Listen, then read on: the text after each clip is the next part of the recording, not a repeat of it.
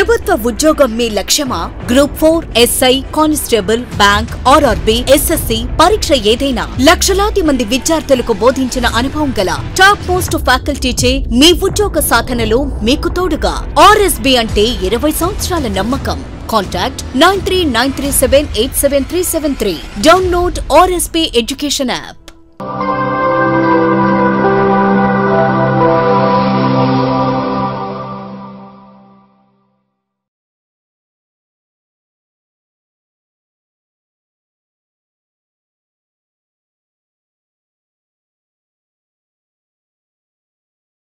Welcome to RSB Education. Now, in this session, we see the science and technology of the July month so మనం ఈ సెషన్లో July నెలకు సంబంధించి science and టెక్నాలజీని చూద్దాం.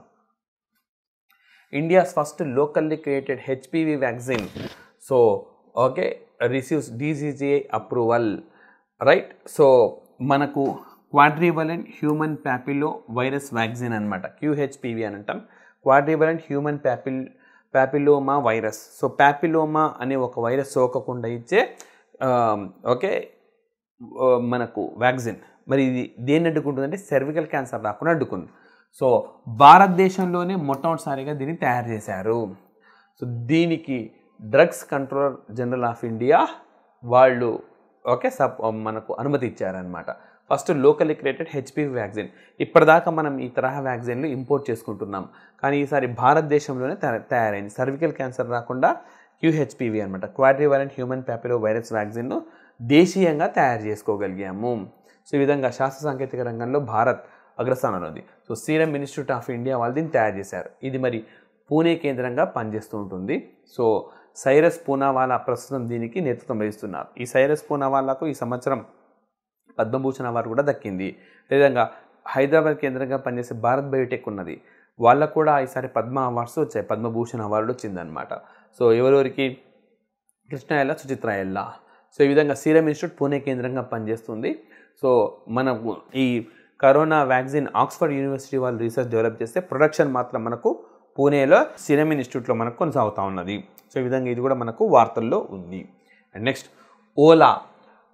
Lithium ion సెల్ని introduce చేసింది. So Ola electric has unveiled the country's first indigenously developed lithium ion cell so lithium ion okay ఈ బ్యాటరీని మనకు ఓలా కంపెనీ స్టార్ట్ చేసింది. Bengaluru based two wheeler maker we begin the mass production of the cell NMC two one seven zero from the Chennai based giga factory by twenty twenty three so ఇది చెన్నై ఆధారం కేంద్రంగా పనిచేస్తూ ఉంటుంది. But sorry Bengaluru కేంద్రంగా పనిచేస్తుంది. But Chennai కేంద్రంగా వాళ్ళ giga factory ఉన్నది. అక్కడ ప్రొడక్షన్ అనేది ఉంటుందన్నమాట.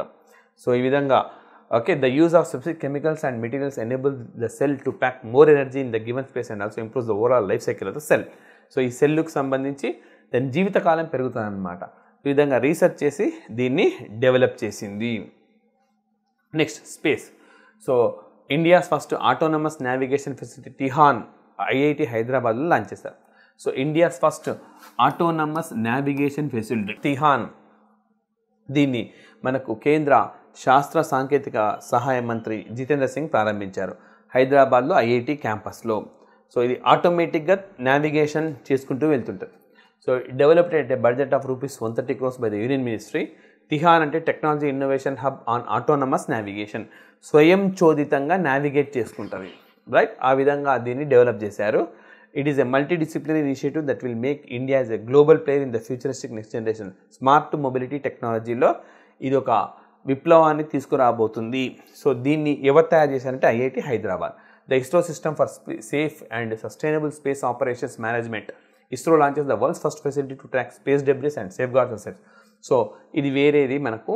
ISRO system for safe and sustainable space space operations అనమాట అంటే మనకు అంతరిక్షంలో చెత్త పేరుకుపోయింది. అంతరిక్షంలో ఏ విధంగా చెత్త పేరుకుపోతుందంటే పనిచేయని శాటిలైట్ కాలం తీరిన శాటిలైట్స్ శాటిలైట్ నుంచి ఊడిపడిన భాగాలు ఇవన్నీ కూడా డెబ్రిస్ చెత్త అనమాట సో ఈ విధంగా ISRO launch the world's first facility to track space debris and safeguard assets అంటే ఏం లేదు. సో ఇప్పుడు మనము ఇట్లా కక్షలోకి ప్రవేశపెట్టాం. ఒక ఉపగ్రహం ప్రవేశపెట్టాం తిరుగుతాం ఒక శాటిలైట్. ఇంకొక శాటిలైట్ ప్రవేశపెట్టాం తిరుగుతుంది. ఇప్పుడు ఈ శాటిలైట్ ఫెయిల్ అయిందేమో దాని కాలం తీరిపోయింది అనుకోండి. తిరుగుతూనే ఉంటుంది. దీని నుంచి ఏదైనా ముక్క ఊడిపడింది అనుకోండి ఇప్పుడు మంచిగా ఉన్న శాటిలైట్కి ముప్పది మంచిగా ఉన్న శాటిలైట్ని ఢీ కొట్టవచ్చు దీనివల్ల మంచి శాటిలైట్ కోల్పోవచ్చు మనం. సో ఈ విధంగా ప్రపంచంలోనే ఈ డెబ్రిస్ ఈ చెత్తను ఓకే గుర్తించి ఆస్తులను అక్కడ ఉన్న ఆస్తులను పరిరక్షించగలిగే ఒక సౌకర్యాన్ని ప్రపంచంలోనే మొట్టమొదటిసారిగా ISRO ప్రయోగించింది. So ISRO system for safe and sustainable space operation. Sustainable అంటే మన అంతరిక్ష ప్రయోగాలు అనేవి సుస్థిరంగా ఉంటాయి అన్నమాట సో ఆ విధంగా మనకి ఇస్రో అనేది లాంచ్ చేసింది. And next IS four OM is ISRO's holistic approach to ensure the safety of space assets and sustaining the utilisation of outer space for national development so అంటే బాహ్య ప్రపంచం బాహ్య మనకి ఓకే అంతరిక్షం ఏదైతే ఉన్నదో అక్కడ మన ఆస్తులను పరిరక్షించుకోవడం మన శాటిలైట్లను పరిరక్షించుకోవడం తద్వారా జాతి అభివృద్ధికి దోహదం చేసేందుకు దీన్ని డెవలప్ చేసింది అనమాట ఈ తరహా సౌకర్యం ప్రపంచంలోనే మొదటిసారి. Next with the help of ISRO systems for safe and sustainable space operation and management India has increase its ability to protect space assets on its own అంటే మనకు మనంగా సొంతంగా ఏ దేశం పైన ఆధారపడకుండా మన ఆస్తులను మనం పరిరక్షించుకునే స్థాయికి ఈరోజు ఎదిగాం. సో ఈ అంతరిక్ష పరిశోధనలో భారత్ స్థాయి అనేది క్రమంగా మారుతుంది లైక్ ఫర్ ఎగ్జాంపుల్ స్టార్టింగ్లో ఏంటనంటే మనము ఉపగ్రహాలను తయారు చేసుకునే వాళ్ళం బట్ విదేశాల నుంచే ప్రయోగించేవాళ్ళం విదేశాల సహాయంతో మనం స్టార్టింగ్లో ప్రయోగించిన ఆర్యభట్ట తీసుకున్నది అది మనం విదేశాల్లో ప్రయోగించాం. ఆ తర్వాత ఏంది? మన ఉపగ్రహాలను మనమే ప్రయోగించే స్థాయికి మనం చేరుకున్నాం. అంటే సైన్స్ అండ్ టెక్నాలజీ దేశంలో డెవలప్ అయింది. మూడో దశలో ఏం చేసాం విదేశీ ఉపగ్రహాలను మనమే ప్రయోగిస్తున్నాం.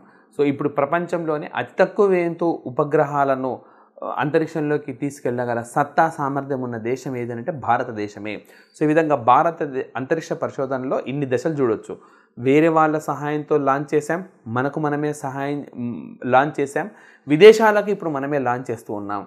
అందులో భాగంగా మన మన అంతరిక్షంలో మన ఆస్తులను కాపాడుకోవడానికి విదేశాలపైన ఆధారపడవని ఇప్పుడు సొంతంగా మనం డెవలప్ చేసుకుంటున్నాం. చాలా ఉన్నాయి మన అంతరిక్ష పరిశోధన సాధించిన ఘనతలు. సో ఓకే ఈ విధంగా మనకి ఈ అంశం అన్నది వార్తల్లో ఉంది. And next India's first teaching robot introduce by Indus international school so మనకు as a part of collaborative learning strategy at it schools Indus international school has launch the innovative and first teaching robot in the India the Eagle robot so Eagle robot అనే పేరుతోటి బోధనా సామర్థ్యం ఉండే ఒక రోబోట్ని ఆవిష్కరించింది Indus international school అన్నమాట.